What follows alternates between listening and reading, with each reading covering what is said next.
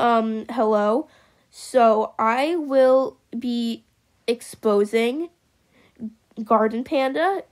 Uh, she called me a stinky shark, so therefore we need to cancel her because that is very, very rude. So we need to cancel her. So I have user on the YouTube Garden Panda right here next to me. So we are going to interview her on why she called me a stinky shark. All right, user Garden Panda on YouTube, what do you have to say about this? You are a stinky shark. Oh, how could you? That was so rude. I will interview you one more time. Hopefully, not so rude. You're still a shark. Oh, how rude. We must cancel you.